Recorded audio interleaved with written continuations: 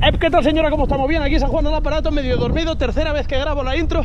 Hoy ha tocado despertarse a las 6 de la mañana, a las 7 pillar el coche y a las 8 entrenando en Turó de Loma para el Everesting Challenge. Hoy San Juanada de nuevo, porque le estamos dando de nuevo con la Fat Biken. Y de repente digo, oye, ¿y si hago un top 10 de las 10 peores sanjuanadas que has hecho en toda tu historia deportiva? Y no, y bueno, así mientras la voy pensando, se me pasa antes del entreno. Vamos para allá.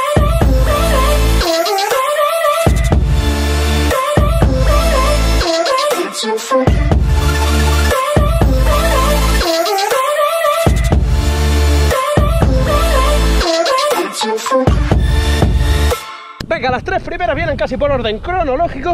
2013, mes de enero. Me peto el tobillo durante dos meses, que casi me lo rompo, preparando la maratón de Barcelona. Señora, ¿cómo estamos? Bien, ¿eh? Pues yo bien jodido. Ya saben que esto iba a ser un blog de, bueno, pues de cosas de deportes, de riesgo, tal y no sé qué.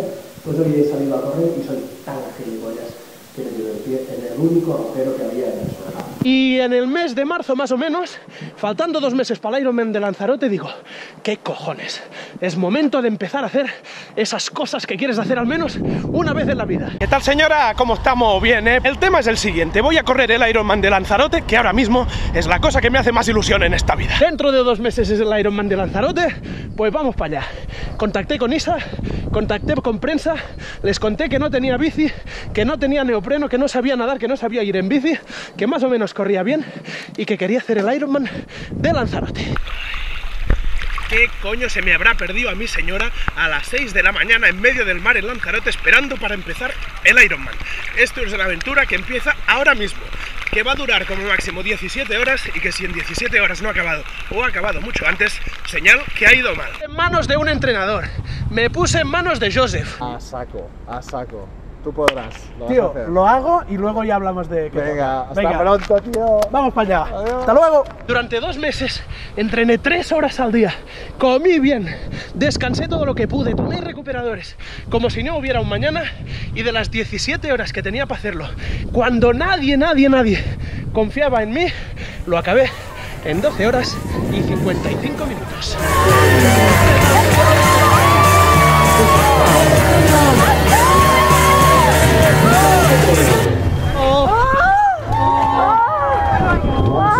Lo hice con una Trek de hace 10 años, edición especial de Lance Armstrong que Joseph Agram había comprado en su momento de coleccionista. Me meé encima, la dejé toda meada, pero la cosa salió bien. Joseph, tío, lo siento mucho, de verdad. He intentado que no pasara, pero no podía aguantarme. Y me he encima. Y a partir de ahí me vine arriba, empecé a buscar, quería hacer un Ironman al mes. Dije, venga, va, un Ironman en cada país durante todo el mundo.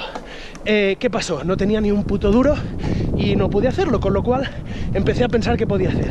Y vi que al cabo de dos meses más o menos había un Ultraman en Gales. Y dije, mira, va, les contacto, intento ir para ahí. Cogí todos mis ahorros, que era todo lo que tenía. Me parece que en ese momento tenía ahorrados como mil y pico euros, dos mil. Alquilamos una furgoneta y nos fuimos Borja, Merced y el San Juan para Gales. Nada, señora, esto es el Eurotúnel. Que vaya mierda, que no hemos podido ni salir. Digo, voy a conectar el ordenador. Y por la parte no. Pero bueno, este ha ido a giñar. Sí, a parla porque no sé qué haga en Francia o en Inglaterra porque me lo patea entero. Como sabéis, un Ultraman son 10 kilómetros nadando. Hasta ese momento yo solo había nadado una vez 3,8 y en el Ironman. Después de eso, el mismo día, 145 de bici. Yo solo había hecho esta distancia al día del Ironman de Lanzarote. Al día siguiente, 280 de bici, cosa que nunca pude entrenar hasta el mismo día de la carrera. Y al día siguiente, 84 kilómetros corriendo, cosa que solo había hecho para ese propio día. Nadie daba un duro por mí, casi ni yo mismo, pero me lo creí, me puse palote, lo di todo, entrené como un desgraciado, arriesgué todo lo que tenía, tanto de dinero como de media credibilidad en lo que había conseguido en Lanzarote, quedé segundo y me clasifiqué para el campeonato del mundo de Ultraman en Hawái. So that will be 6 minutes and 31 seconds separating. Now look at that, you can see the ecstasy on his face. He is so happy. Felicitaciones. Valenti, so excelente tiempo. Entonces, y nada, Ultraman UK. Vamos a por la tercera sanjuanada. Así como las dos primeras pequé de ingenuidad, de naif, de no saber lo que me enfrentaba, en esta pequé de eso, pero además pequé de soberbia. Me vine arriba, pensaba que pensé que era un superhéroe y justo 10 días después del Ultraman de Gales se corría Caballs del Ben, una de las ultras más duras del mundo, 100 kilómetros, 6.000 de desnivel positivo, unos 13.000 acumulados y dije, ¿sabes qué? Voy para allá. Venga, que si has corrido 84 en el Ultraman sobrado, aquí te vas a salir. Uno de mis mejores amigos, Jaume, quería correrla, no tenía entradas y yo dije, venga, va, conseguí los dorsales y como regalo se los di. Y nos fuimos para allá y lo que pasó es que se me cayó la planta de los pies tres veces, básicamente porque los zapatos de montaña con los que fui los había probado tres días antes para hacer 5 kilómetros, 5 kilómetros y 5 kilómetros. Si no te sale ardiendo de lo más profundo de ti, a pesar de todo, no lo hagas. A no ser que salga espontáneamente de tu corazón, de tu mente, de tu boca, de tus entrañas. No lo hagas. Si tienes que esperar a que salga rugiendo de ti, espera pacientemente.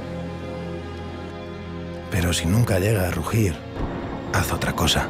No seas pesado y aburrido y pretencioso, no te consumas en el amor propio. No lo hagas.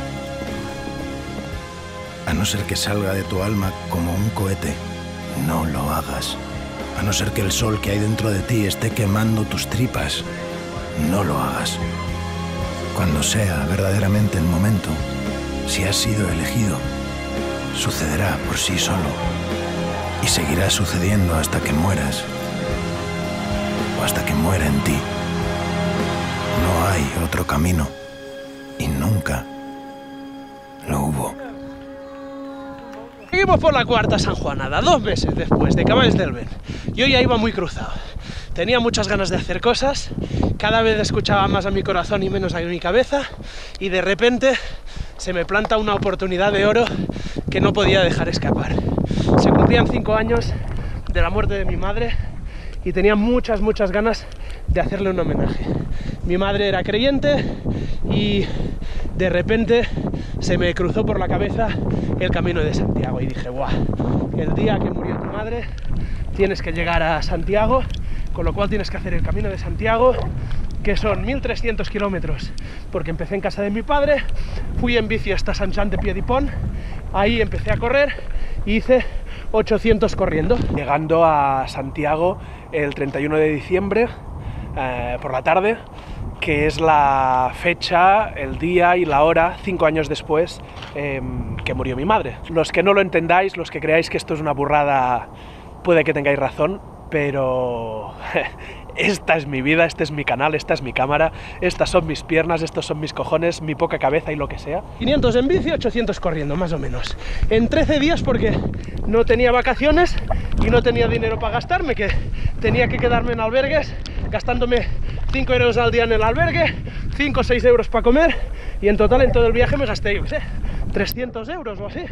Así que esta fue seguramente la sanjuanada más gorda que he hecho, pero no venía de la cabeza, venía del alma. Acaricia la carretera, no tengo billete de vuelta, veo tus pies en la ventanilla, están bailando con las estrellas. Cuando salga el sol y desvele el secreto de nuestra existencia, hablarán de nuestra belleza como algo que nunca se ha visto en la tierra. Y vendrán a buscarnos de todos los puertos, querrán nuestra magia en las tiendas, pero sé que tú y yo correremos. Fue muy duro porque lo hice con unas condiciones muy similares a estas.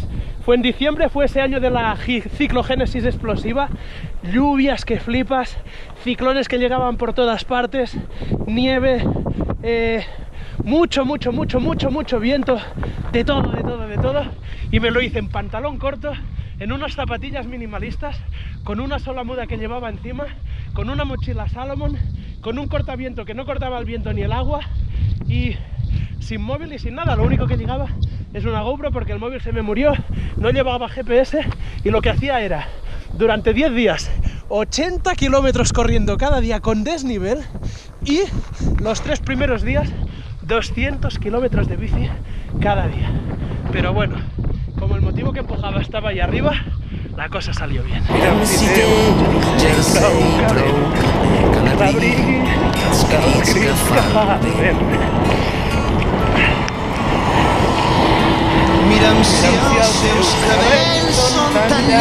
Vamos a por la quinta San Juana, la seguimos todavía por orden. Dos meses después del camino, me voy a Costa Rica. Pepe me dice, San Juan, hay una cosa en Costa Rica que es buen tiempo, mientras en España hace frío, eh, como unas vacaciones en la jungla, ya verás qué bien te lo pasas. Y de repente me voy, creo, a la carrera más puta y jodida del mundo. Cada día dos mil y pico de desnivel, a no sé cuántos grados, con una humedad que flipas que me jodía las cámaras cada día y con las plantas de los pies que se me quedaron podridas. Esto, todo esto, joder, es que parece que tengamos pies de muerto. Pero de... Buah. En fin, eh, os dejamos con esta imagen de pies y resumen de lo que ha sido el día de hoy con cuatro imágenes. Ya estamos en el coche, ya tanta nieve no se podía subir más para arriba, ya hemos hecho el entreno, eh, estábamos en el top 5. Mira, haremos una cosa. Lo dejamos en 5 de momento y mañana habrá segunda parte. Like al vídeo si queréis que mañana haya segunda parte con, el, con la sexta, la séptima, la octava, la novena y la décima eh, San Juanada de las gordas. Por cierto que en la 5, en Costa Rica, es donde conocí a este pedazo de fistro. Me viste apuradito ahí, ¿no? Joder, te vi muy apurado. Me acuerdo en la etapa 3 que estabas subiendo el vídeo, nosotros estábamos subiendo el vídeo de la organización y el San Juan decía, yo mañana no salgo, Me piro, no salgo, me no piro. salgo. Hostia. Y además, o sea, intentábamos convencer y no había forma, Cada era como era hablar peor. con un tronco, o sea, no podías decirle nada. Hostia, qué desastre. Eh, y no nos conocíamos de nadie. No el tío conocíamos. dice, vaya cruzado este. Bueno, la peor sanjuanada que hice en Costa Rica fue que el primer día, como iba ahí de sobrado, ya has hecho aquí 80 kilómetros cada día durante 10 días, sale, eh, dan el pistoletazo de salida y durante los primeros 10 kilómetros salí así, es decir, con los primeros, eh, pero de estos que son campeones del mundo y tal, pues durante 10 kilómetros corriendo a 30 segundos suyo tal. Salí ahí a muerte, pasó por el primer avituallamiento, estaba, estaba ahí Olivier, me ve pasar y me acuerdo que se me queda mirando así, Valentín, Valentín, coge, coge, que tienes al líder ahí delante, coge. Y yo pensando, me cago en la puta, quedan 200 kilómetros de carrera y yo ya no puedo más. O sea que, en fin, bueno, liken, olvideaken si queréis que mañana... Ah, no, y mira, dejad aquí abajo en comentarios cuáles creéis que son las siguientes que tienen que salir en el vídeo de mañana. Yo ya tengo alguna idea, pero, oh, sí, cuando hiciste tal o cuando hiciste tal cosa, y entre lo que digáis vosotros y lo que me acuerde yo, pues lo acabo de hacer. ¿Te parece bien? Me parece estupendamente. Venga, pues nos vamos para la OFI, que a las 12 tenemos reuniones y tenemos todo el día por delante para currar. Venga, familia. ¡Ih!